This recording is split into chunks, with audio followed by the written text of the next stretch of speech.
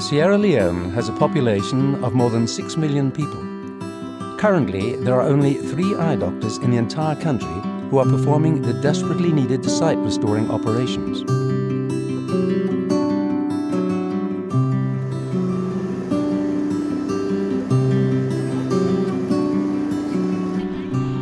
Kissy Eye Hospital lies on the outskirts of Sierra Leone's bustling capital city, Freetown. The hospital was established in 1984 by American United Methodist Church missionaries Dr. Lowell Gess and his wife Ruth.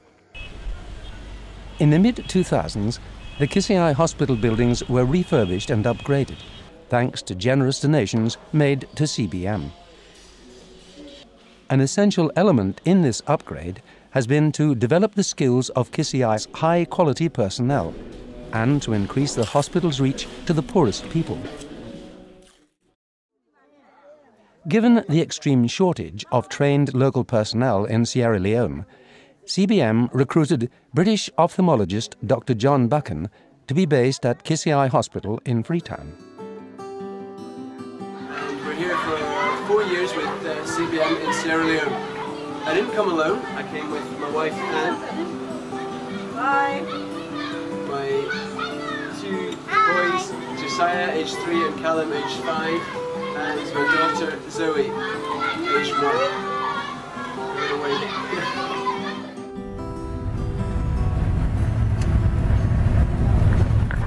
This morning, John and the team are travelling six hours to northeastern Sierra Leone.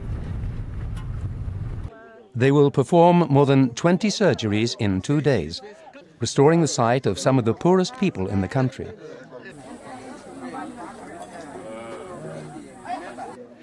Yabu waits in the long queue. She's 30 years old and has been blind with cataracts for nearly three years. Yabu and her husband have walked the long journey to the hospital, desperately hoping something can be done to restore her eyesight. Her life has been tough. Only two of the four children she has given birth to are still alive. For the past year, she has been completely unable to work on the farm and she has never clearly seen her 10 month old baby, Mariama.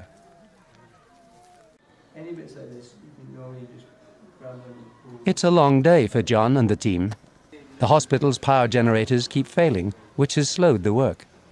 Despite the difficulties, the team has already performed 19 eye surgeries this afternoon.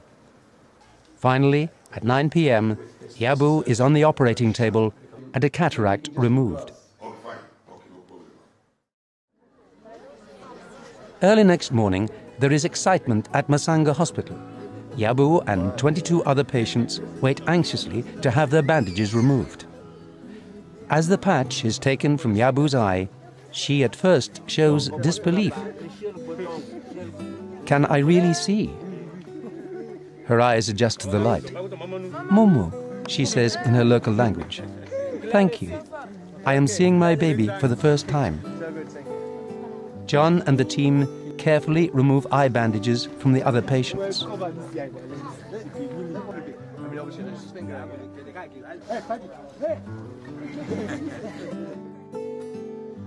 After receiving medicines and a checkup time, Yabu, her husband, and her daughter start on the journey home.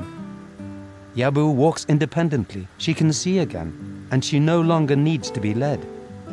She can return to being a mum, farming, and community life.